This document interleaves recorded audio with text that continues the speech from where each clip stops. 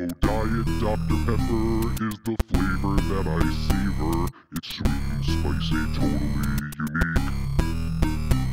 It makes me want to sing this song about my soft drink savior that brings me joy when everything looks bleak. Oh, Diet Dr. Pepper by the can or by the 20. I drink them morning, afternoon, and night. No fat or calories, but taste it has plenty. It's cola, root beer juice, and Eden Sprite.